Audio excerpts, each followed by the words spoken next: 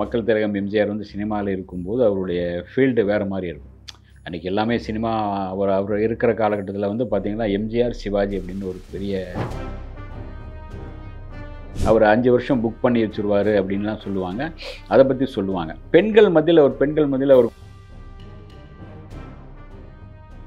சரோஜா தேவி தான் அவங்க இந்த சரோஜா தேவிக்கு முன்பு வரை அவர் வந்து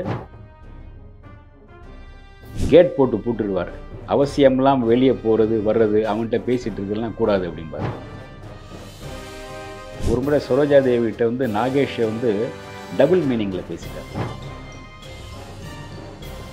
வணக்கம் சார். வணக்கம் சொல்லுங்கள் நடிகர் எம்ஜிஆர் அவர்கள் வந்து சினிமாவில் இருக்கும்பொழுது நிறைய நடிகைகளை வந்து அவர் பயன்படுத்திக்கிட்டாரு அப்படிங்கிற விஷயம் நம்ம தொடர்ந்து கேள்விப்படுறோம். அதை பற்றி இல்லை அவர் சினிமாவில் இருக்கும்போது மக்கள் திலகம் எம்ஜிஆர் வந்து சினிமாவில் இருக்கும்போது அவருடைய ஃபீல்டு வேறு மாதிரி இருக்கும். அன்றைக்கி எல்லாமே சினிமா அவர் அவர் இருக்கிற காலகட்டத்தில் வந்து பார்த்திங்கன்னா எம்ஜிஆர் சிவாஜி அப்படின்னு ஒரு பெரிய ரெண்டு பேரும் பெரிய ஒரு ஜாம்பவன்களாக இருப்பாங்க.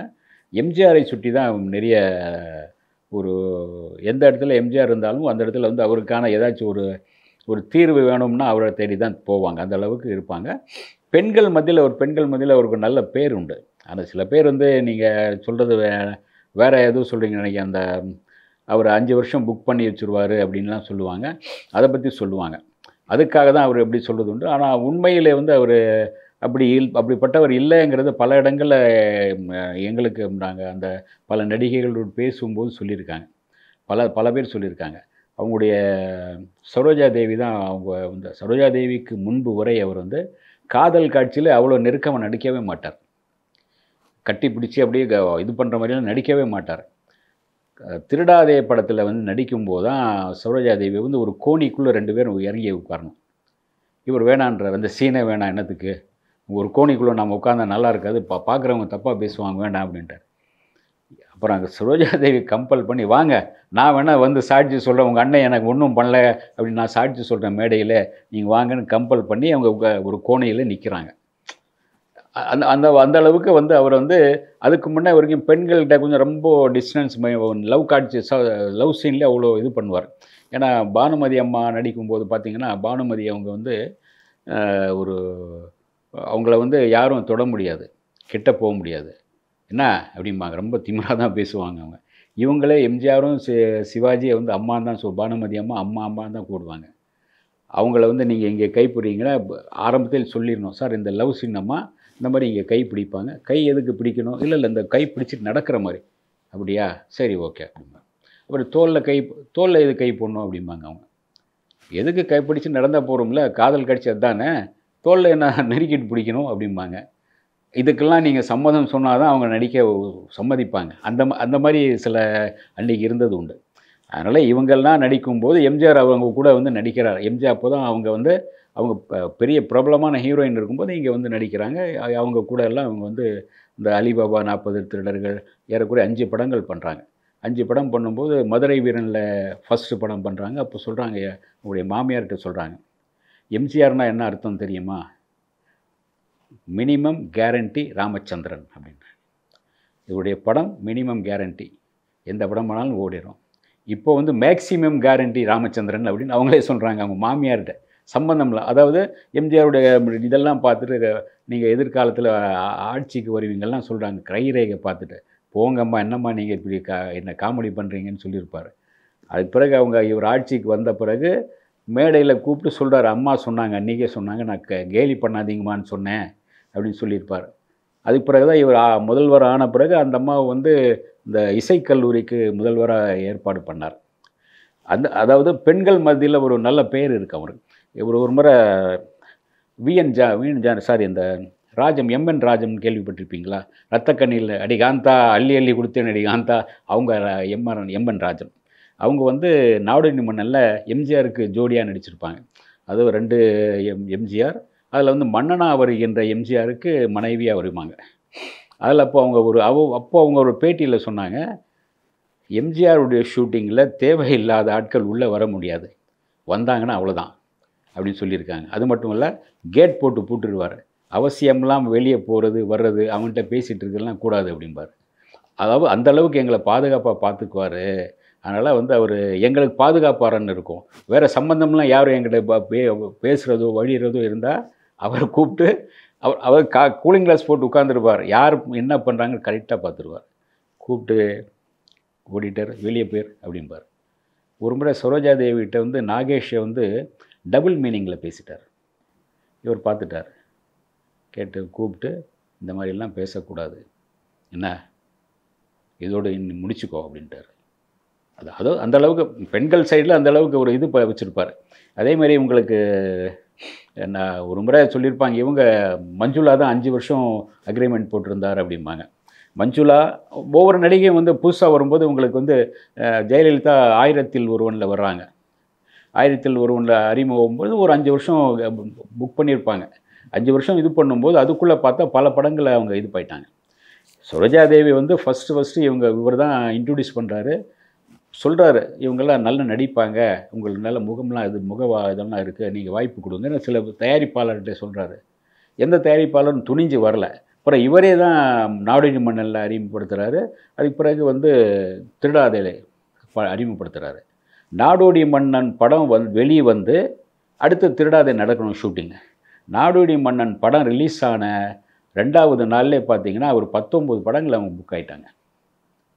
இவங்க இவருடைய அக்ரிமெண்ட்டில் தான் இருக்காங்க. அவர் என்ன எதனால அந்த அக்ரிமெண்ட் போடப்படுது சார் என்ன அக்ரிமெண்ட்னா அந்த அந்த நீங்கள் நம்ம படத்துக்கு நீங்கள் இந்த டேட்டில் நடிச்சு கொடு இந்த டேட்டில் ஒரு அறு அறுபது நாள் உங்களுக்கு கால் ஷீட் கொடுத்துருவோம் அறுபது நாள் நீங்கள் வந்து கரெக்டாக நடிச்சு கொடுத்துடணும். அப்போ அந்த அஞ்சு வருஷம் அக்ரிமெண்ட் அப்படின்னு சொன்னாங்க. அஞ்சு வருஷம்னா ஒரு படத்துக்கு ஒரு நாலு படத்துக்கு புக் பண்ணுவாங்க.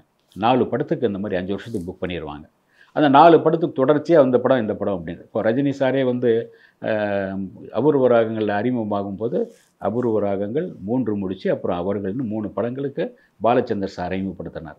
முதல் படத்துக்கு ஐநூறுரூவா சம்பளம் ரெண்டாவது படத்துக்கு ரெண்டாயிரம் ரூபா சம்பளம் மூணாவது படத்துக்கு மூவாயிரம் ரூபா சம்பளம். இப்படி ஏறும். அதே மாதிரி சரோஜா தேவி முதல் படத்துக்கு ரெண்டாயிரத்து ஐநூறுரூவா ரெண்டாவது படத்துக்கு ஐயாயிரரூவா மூணாவது படத்துக்கு எட்டாயிரரூவா இப்படி ஒரு ஒரு இது ஒரு அஞ்சு வருஷம் அக்ரிமெண்ட் அது. சில நேரங்களில் சில படங்கள் வந்து ஒரு வருஷம் ரெண்டு வருஷம் இழுத்துரும். அதுக்காக அவங்க என்ன பண்ணுவாங்கன்னா அந்த நேரத்தில் போய் வெளியே நடிச்சு கொடு நடிங்க அப்படிம்பாங்க. அதே மாதிரி தான் உங்களுக்கு ஜெயலலிதா வந்து ஒரு அண்ட் ஒரே நேரத்தில் நடிக்கும்போது அவங்களுக்கு நிறைய படங்கள் புக் ஆச்சு. சரி நடிக்கட்டும் ஓடுங்க. புது ப- புதுமுகம் அவங்க சம்பாதிக்கணும்ல நடிக்கட்டும். அது வரைக்கும் அதே மாதிரி சரோஜா தேவி நடிக்கட்டும்ன்ட்டார் அவர். இவரே வந்து இவர் அறி இவர் அறிமுகப்படுத்தின நடிகையே இதுக்கு வந்து நம்ம திருடாதே படத்திற்கு அவங்க வர ஷூட்டிங்கில் வரமாட்டாங்க. லேட் ஆகிடும் இவர் காத்திருப்பார். இவர் அறிமுகப்படுத்தினது ரெண்டாவது படத்திலே. அப்புறம் இவர் காத்திருந்து இல்லை இல்லை புது பொண்ணு. நல்ல படங்கள் வாய்ப்பு வந்திருக்கு. இந்த நேரத்தில் சம்பாதிக்கணும். விடுங்க. நான் வந்துச்சுன்னா முதல்ல அவருடைய சுரோஜாவுடைய சீன் எல்லாம் எடுத்துகிட்டு அனுப்பிடுங்க அப்புறம் நான் நடிச்சு தர்றேன் அப்படிம்பார். ஏன்னா ஒரு ஒரு புது பொண்ணை லைஃப் இது அவங்க லைஃப் இதாகட்டும் அப்படின்னு இந்த மாதிரிலாம் விட்டு கொடுத்துருவார். பெண்கள் சைடில் அந்த அளவுக்கு ஒரு மரியாதை கொடுக்கக்கூடியவர். அவர் வந்து பயங்கரமா சொத்து வச்சிருக்கக்கூடிய ஒரு ஆளா தான் வாழ்ந்தார் எம்ஜிஆர் அவர்கள் அப்படிங்கிறது எல்லாருக்குமே தெரியும். ஆனா அவருடைய சொத்துக்கள் எல்லாத்தையுமே அவர் இழந்ததுக்கு காரணம் வந்து நடிகைகள் மேல இருந்த மோகம் அப்படிங்கிற செய்தியை நம்மளால பார்க்க முடியுது. இல்லை இல்லை சொத்துக்கள் யார் எங்கே எழுதி வச்சார் அவர்? அன்றைக்கி அவருடைய சொத்து அவருடைய ப- சம்பளம் எல்லாமே வந்து பார்த்திங்கன்னா அஞ்சு லட்ச ரூபா பத்து லட்ச ரூபா சம்பளம். அதுவே மிகப்பெரிய தொகை.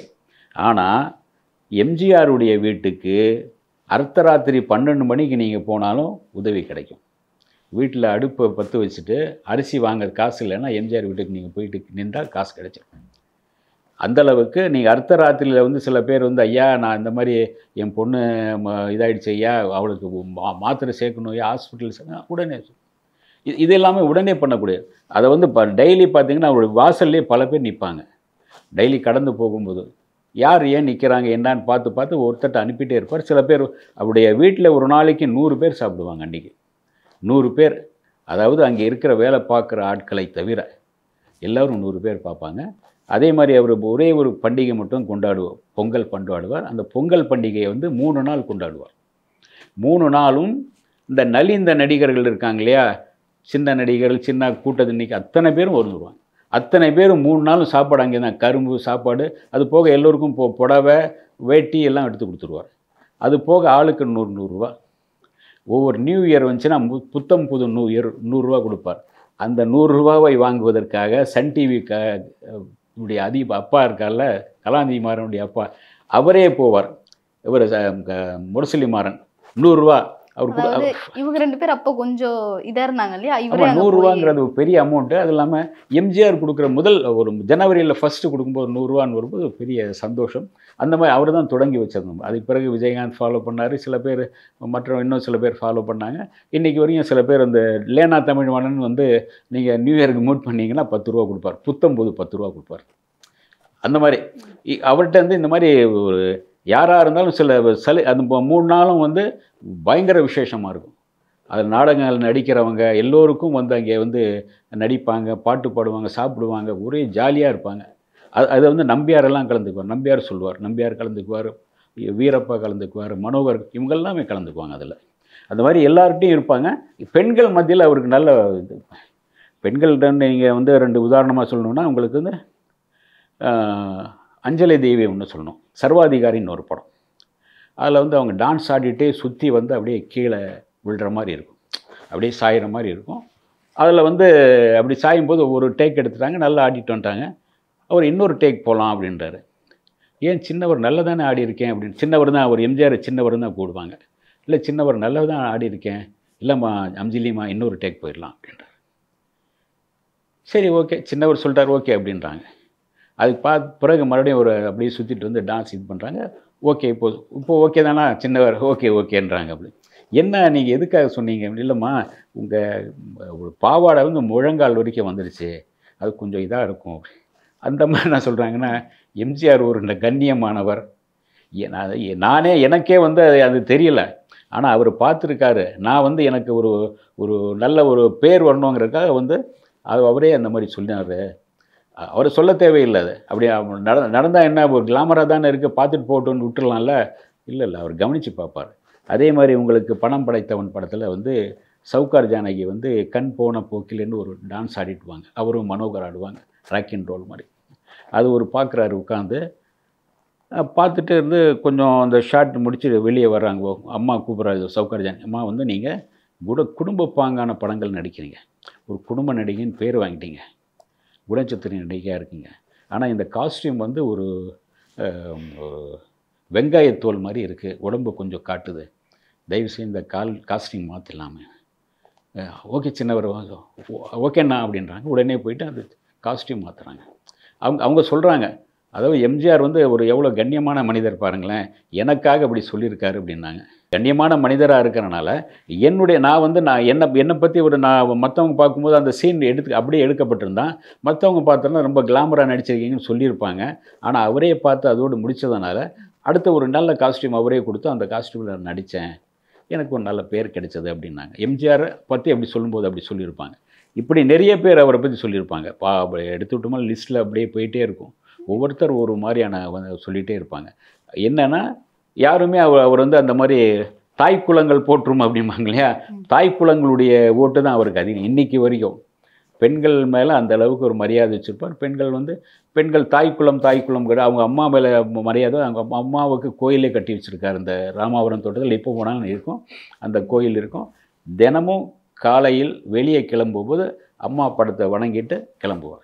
பழைய காலத்து சினிமா பற்றி எங்ககிட்ட நீங்கள் வந்து நிறைய விஷயங்கள் ஷேர் பண்ணிக்கிட்டீங்க. இப்போ இருக்கக்கூடிய யங்ஸ்டர்ஸ் வந்து பழைய காலத்து சினிமா இந்த மாதிரிலாம் இருந்திருக்குமா அப்படின்ற பார்த்தா ரொம்ப யூஸ்ஃபுல்லாக இருக்கும் அப்படின்னு நினைக்கிறேன். உங்கள் நேரத்துக்கு ரொம்ப நன்றி சார் ஓகே தேங்க்யூ